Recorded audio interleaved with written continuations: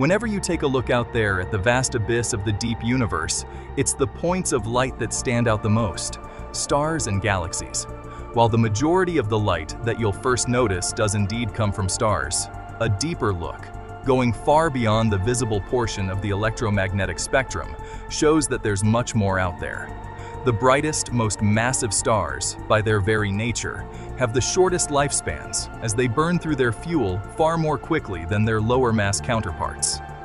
Once they've reached their limits and can fuse elements no further, they reach the end of their lives and become stellar corpses. These corpses come in multiple varieties. White dwarfs for the lowest mass, sun-like stars, and black holes for the most massive stars of all.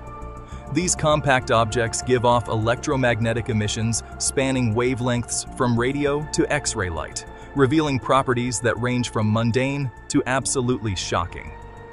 While most stars themselves may spin relatively slowly, black holes rotate at nearly the speed of light. This might seem counterintuitive, but under the laws of physics, it couldn't be any other way. Here's why. The closest analog we have to one of those extreme objects in our own solar system is the Sun. In another 7 billion years or so, after becoming a red giant and burning through the helium fuel that's built up within its core, it will end its life by blowing off its outer layers while its core contracts down to a stellar remnant, the most gentle of all major types of stellar death. The outer layers will create a site known as a planetary nebula, which comes from the blown-off gases getting ionized and illuminated from the contracting central core. This nebula will glow for tens of thousands of years before cooling off and becoming neutral again, generally returning that material to the interstellar medium. When the opportunity then arises, those processed atoms will participate in future generations of star formation, but the inner core, largely composed of carbon and oxygen, will contract down as far as it possibly can. In the end, gravitational collapse will only be stopped by the particles, atoms, ions, and electrons, that the remnant of our sun will be made of. So long as you remain below a critical mass threshold, the Chandrasekhar mass limit, the quantum properties inherent to those particles will be sufficient to hold the stellar remnant up against gravitational collapse. The endgame for a sun-like star's core will be a degenerate state known as a white dwarf. It will possess a sizable fraction of the mass of its parent star, but crammed into a tiny fraction of the volume, approximately the size of Earth. Astronomers now know enough about stars and stellar evolution to describe what happens during this process. For a star like our Sun, approximately 60% of its mass will get expelled in the outer layers, while the remaining 40% remains in the core. The more massive a star becomes, the more mass, percentage-wise, gets blown off in its outer layers, with less being retained in the core. For the most massive stars that suffer the same fate as our Sun, possessing about 7 to 8 times the Sun's mass, the mass fraction remaining in the core comes all the way down to about 18% of the original star's mass. Sirius A is a little bit brighter and more massive than our Sun, and we believe that its binary companion, Sirius B, was once even more massive than Sirius A. Because the more massive stars burn through their nuclear fuel more quickly than lower mass ones, Sirius B likely ran out of fuel some time ago. Today, Sirius A remains burning through its hydrogen fuel and dominates that system in terms of mass and brightness. While Sirius A today weighs in at about twice the mass of our Sun, Sirius B is only approximately equal to our Sun's mass. However, based on observations of the white dwarfs that happen to pulse, we've learned a valuable lesson. Rather than taking multiple days or even, like our Sun, approximately a month to complete a full rotation, like normal stars tend to do, white dwarfs complete a full 360-degree rotation in as little as an hour. This might seem bizarre, but if you've ever seen a figure skating routine, the same principle that explains a spinning skater who pulls their arms in explains the white dwarf's rotational speed, the law of conservation of angular momentum. Angular momentum is simply a measure of how much rotational and or orbital motion does a mass have to it. If you puff that massive object up so that its mass is farther from its rotational center, it has to slow down in its rotational speed in order to conserve angular momentum. Similarly, if you compress a massive object down so that more of its mass is closer to the center of its axis of rotation, it will have to speed up in its rotational speed, making more revolutions per second, to keep angular momentum conserved. What happens then if you were to take a star like our Sun, with the mass, volume, and rotation speed of the Sun, and compressed it down into a volume the size of the Earth? A typical size for a white dwarf? Believe it or not, if you make the assumption that angular momentum is conserved and that both the Sun and the compressed version of the Sun we're imagining are spheres, this is a completely solvable problem with only one possible answer. If we go conservative and assume the entirety of the Sun rotates once every 33 days, the longest amount of time it takes any part of the Sun's photosphere to complete one 360 degrees rotation, and that only the inner 40% of the Sun becomes a white dwarf, you get a remarkable answer. The Sun, as a white dwarf, will complete a rotation in just 25 minutes.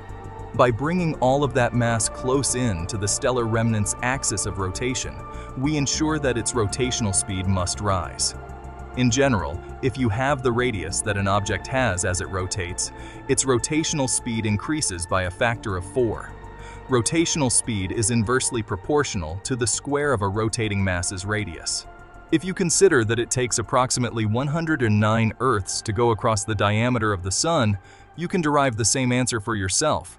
In reality, white dwarfs generally rotate a little more slowly as the outermost layers get blown off, and only the interior core material contracts down to form a white dwarf. Unsurprisingly then, you might start to ask about neutron stars or black holes, even more extreme objects. A neutron star is typically the product of a much more massive star ending its life in a supernova, where the particles in the core get so compressed that it behaves as one giant atomic nucleus composed almost exclusively, 90% or more, of neutrons. Neutron stars are typically twice the mass of our Sun, but just about 10 to 40 kilometer across.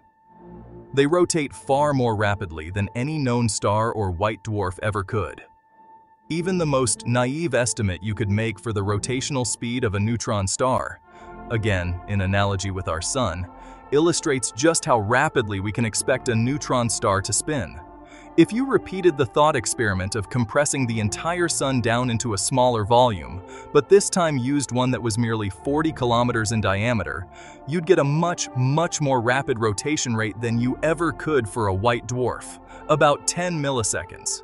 That same principle that we previously applied to a figure skater about the conservation of angular momentum leads us to the conclusion that neutron stars could complete more than 100 full rotations in a single second. In fact, this lines up perfectly with our actual observations. Some neutron stars emit radio pulses along Earth's line of sight to them, pulsars.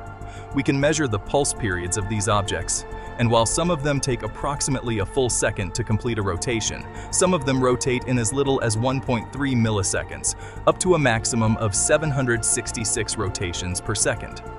The fastest spinning neutron stars known are called millisecond pulsars, and they really do rotate at incredibly fast speeds.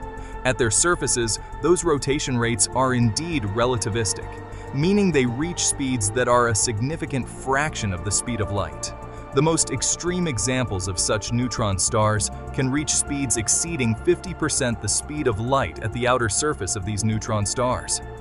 But that doesn't even approach the true astrophysical limits found in the universe. Neutron stars aren't the densest objects in the universe. That honor goes to black holes, which take all the mass you'd find in a neutron star more in fact, and compress it down into a region of space where even an object moving at the speed of light couldn't escape from it. If you compressed the sun down into a volume just 3 kilometers in radius, that would force it to become a black hole. And yet, the conservation of angular momentum would mean that much of that internal region would experience frame dragging so severe that space itself would get dragged at speeds approaching the speed of light, even outside of the Schwarzschild radius of the black hole. The more you compress that mass down, the faster the fabric of space itself gets dragged. Realistically, we can't measure the frame dragging of space itself in the vicinity of a black hole. But we can measure the frame dragging effects on the matter that happens to be present within that space. For black holes, that means looking at the accretion disks and accretion flows found around these black holes that exist in matter-rich environments. Perhaps, paradoxically, the smallest mass black holes, which have the smallest event horizons, actually have the largest amounts of spatial curvature at and near their event horizons. You might think, therefore, that they'd make the best laboratories for testing these frame-dragging effects. But nature surprised us on that front. A supermassive black hole at the center of galaxy NGC1365, which also happens to be one of the first galaxies imaged by the James Webb Space Telescope, has had the radiation emitted from the volume outside of it detected and measured, revealing its speed. Even at these large distances, the material spins at 84% the speed of light. If you insist that angular momentum be conserved, it couldn't have turned out any other way. Subsequently, we've inferred the spins of black holes that have merged together with gravitational wave observatories, such as LIGO and Virgo, and found that some black holes spin at the theoretical maximum, around 95% the speed of light. It's a tremendously difficult thing to intuit, the notion that black holes should spin at almost the speed of light. After all, the stars that black holes are built from rotate extremely slowly, even by Earth's standards of one rotation every 24 hours. Yet if you remember that most of the stars in our universe also have enormous volumes, you'll realize that they contain an enormous amount of angular momentum. If you compress that volume down to be very small, those objects have no choice. If angular momentum has to be conserved, all they can do is spin up their rotational speeds until they almost reach the speed of light. At that point, gravitational waves will kick in, and some of that energy and angular momentum gets radiated away, bringing it back down to below the theoretical maximum value. If not for those processes, black holes might not be black after all, instead revealing naked singularities at their centers. In this universe, black holes have no choice but to rotate at extraordinary speeds. Perhaps someday, we'll be able to measure their rotation directly. Thank you so much for coming this far with us. Remember to join us next time, in the next video. Until then, take care and good night.